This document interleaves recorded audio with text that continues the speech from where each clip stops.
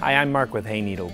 If rustic or vintage inspired furniture is what you're looking for for your nursery, then the Franklin and Ben Mayfair double dresser is just what you need. This traditional piece is crafted from American poplar wood and has a toxic-free rustic brown finish.